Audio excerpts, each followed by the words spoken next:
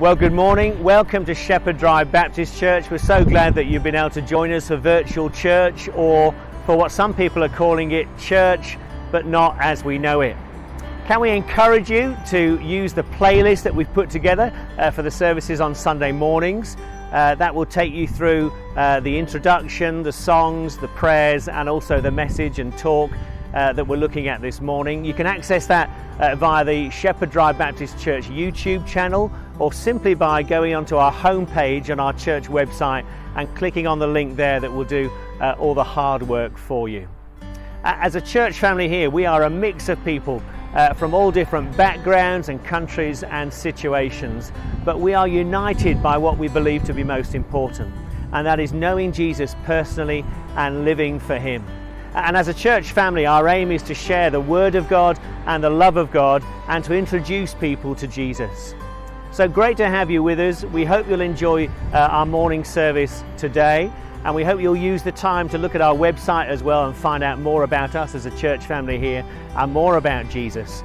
And we really do mean what we say on our sign uh, just on the front of the church that everybody is welcome. So do come and join us now.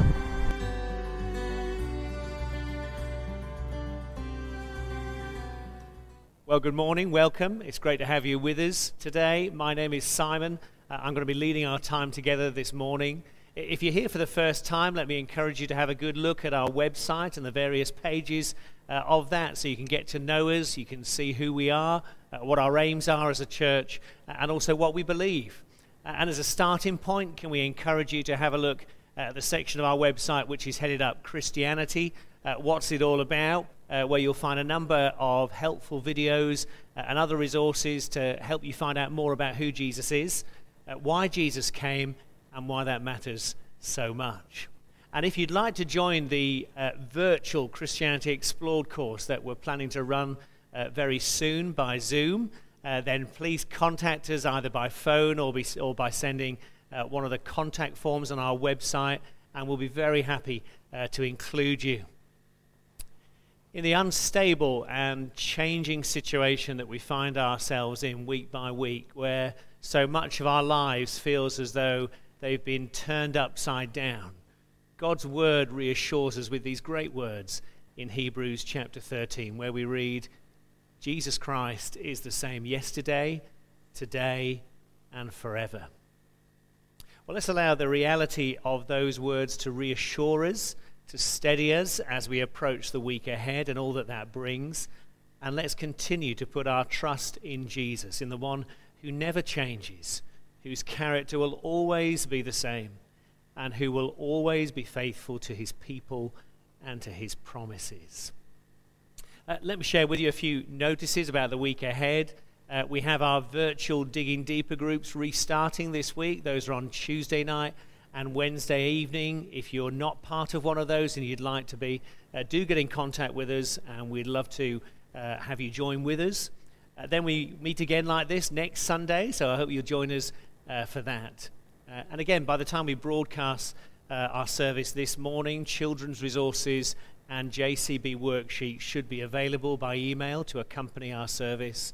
And uh, uh, you should receive those. And if you're not currently on the circulation list for those resources, but you'd like to be, then again, please do contact us, and we'll be very happy to include you in that.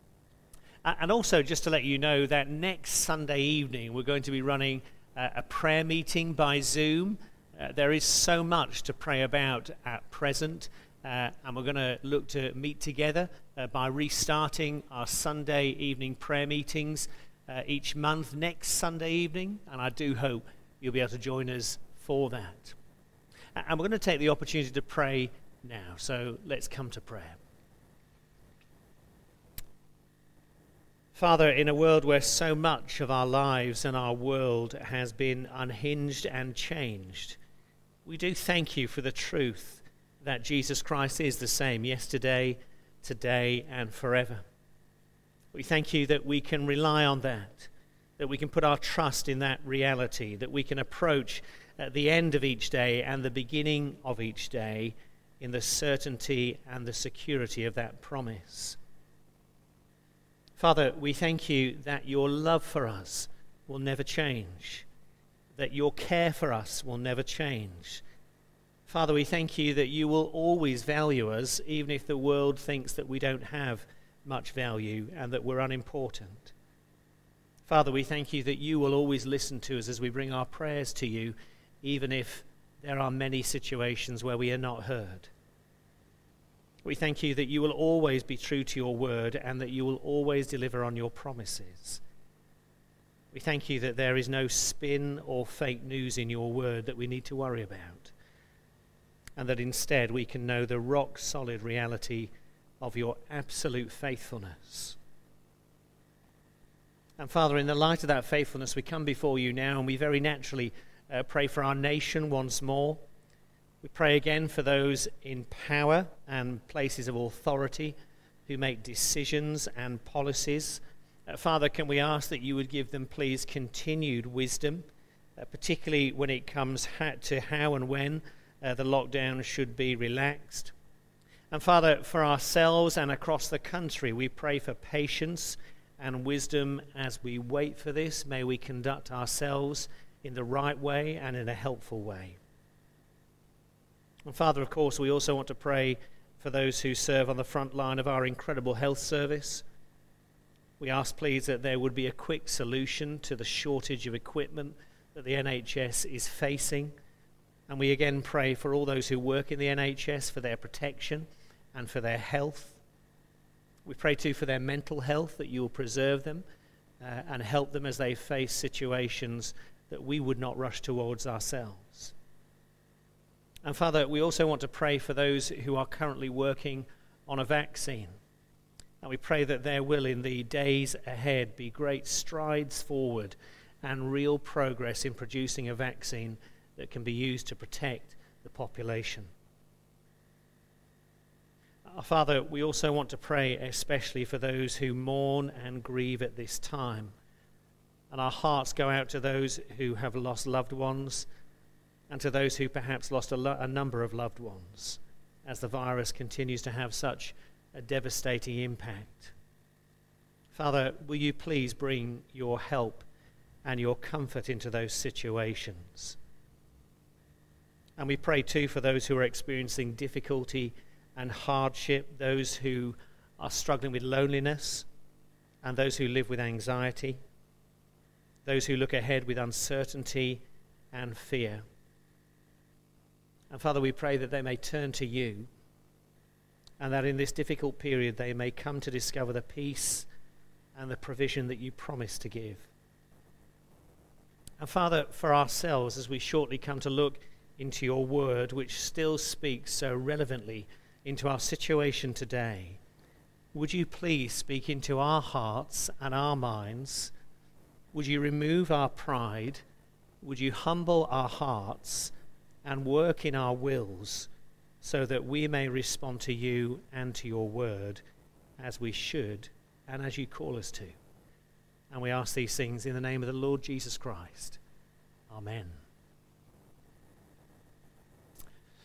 Well, Debbie has again chosen some songs for our time this morning, which uh, tie in so well with the message that we're going to be looking at uh, from God's Word together. Uh, we're going to play videos of two of those songs now. Firstly, The Splendor of the King, and then second, To Him Be the Glory. Two uh, great songs that glorify and praise the great God we come to worship this morning, uh, that help us to remember His greatness, His power, uh, His majesty, but also His great love for us expressed in the Lord Jesus Christ. Uh, so let me encourage you to sing along at home. And if you're watching this on the Sunday playlist, and at the end of this video, it should automatically take you to the two songs uh, that we've chosen for you to listen to and sing along to.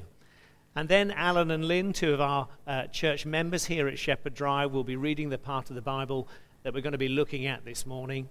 And then we'll come to look at that in detail together. So let's sing together wherever we are, and then we'll come to look at God's Word and see its message for us here and now.